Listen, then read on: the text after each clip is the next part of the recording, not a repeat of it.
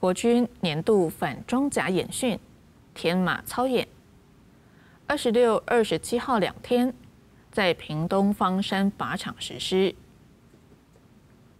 而军方罕见的排定夜间射击，要验证新式装备热显像跟辅助追瞄的功能。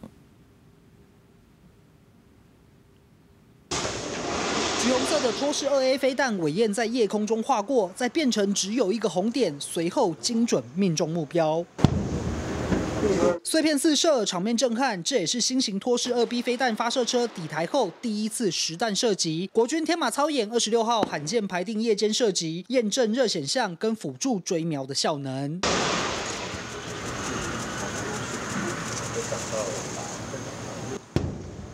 夜间射击十二发，击中十一发，展现高命中率。新式的装备它整合了为一个所谓的目标获得系统，那它最大的差异就是在成像的解析度。可以看到，在悍马车上面这个正在移动的呢，就是 M 四幺 A 七托式飞弹发射系统，它可以更有效的协助射手来追瞄，大大提升各式托式飞弹的发射命中率。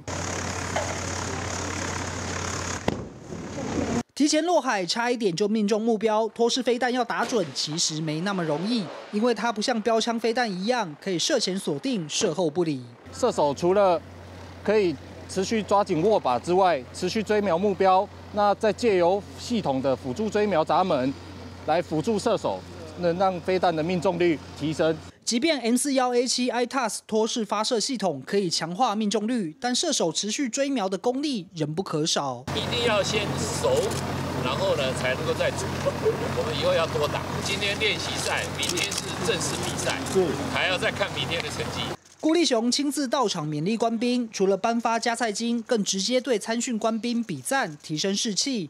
不过，虽然是用新式托二 B 飞弹发射车，但发射的仍是线导型托二 A 旧弹。至于新型的一千七百枚无线导引的托式二 B 飞弹，顾立雄六月曾表示会在年底前全部交装。